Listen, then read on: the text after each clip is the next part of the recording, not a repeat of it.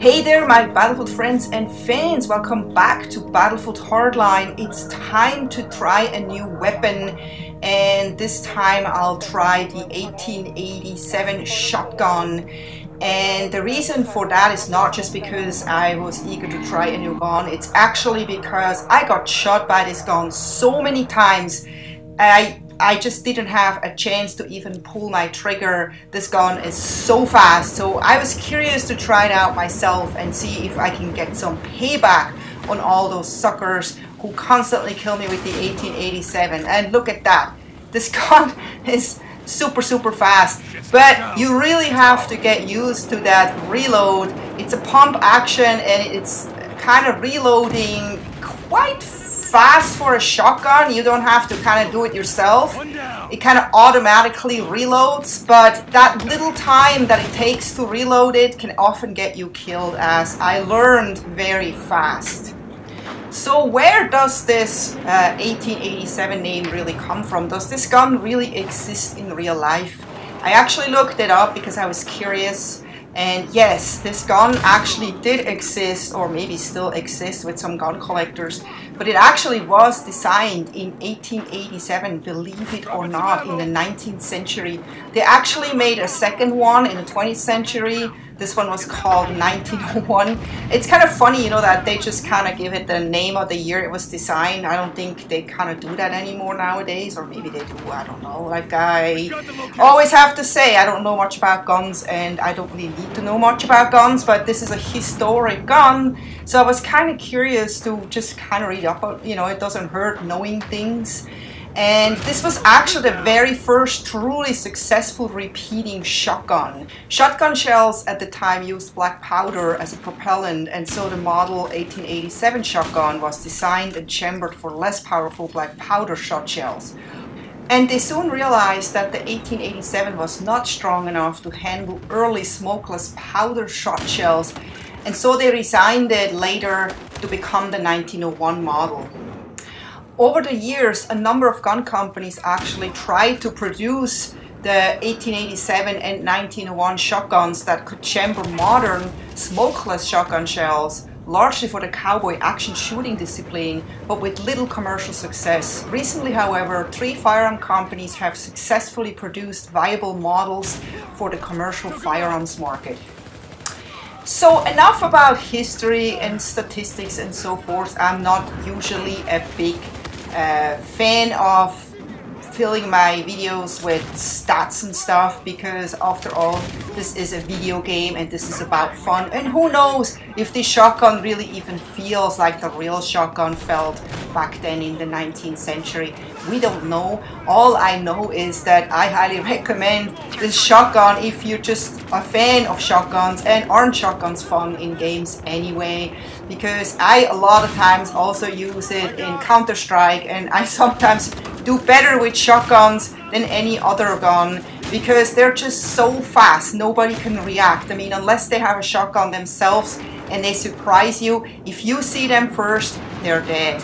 And in those situations it's almost always a guaranteed kill.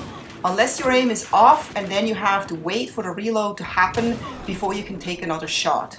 But even though the reload happens fairly quickly you are completely defenseless in that time and it can make the difference between you surviving or getting killed.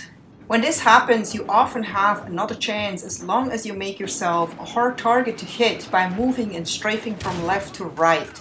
This will quote unquote buy you time until you can take a second shot and take out the target successfully, of course, with high satisfaction.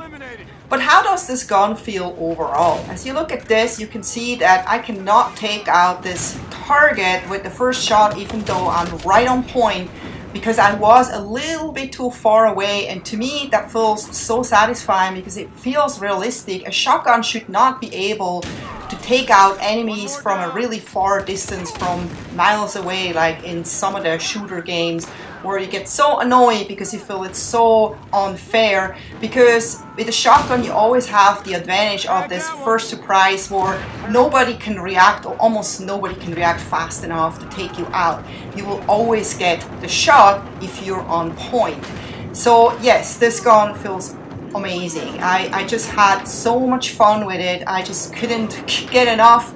And I wanted to just play one more game and one more game and one more game. And I actually have seen people successfully run around with this on wide open maps believe it or not. I would never dare to do that because you know there's so many snipers and stuff around. I don't know how they manage to basically sneak around the enemy and take them out because you have to be so close but in maps like this, obviously, and as you know if you've watched my, you know, introduction to this DLC, uh, it's not my favorite map because I have such a hard time to see in this map, you know, unless right here there's a ton of light.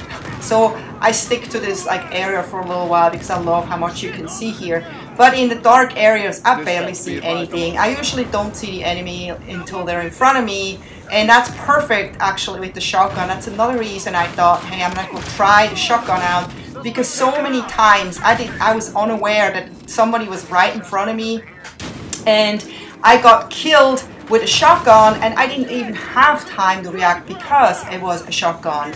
If so many other times when it was like some other gun, I still had time if I managed to get a headshot and the other guy didn't.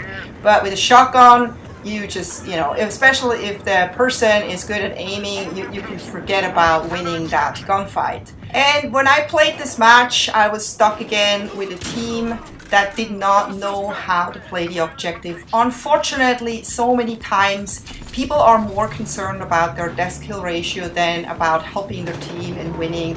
And that's that really goes with like every game that has objectives.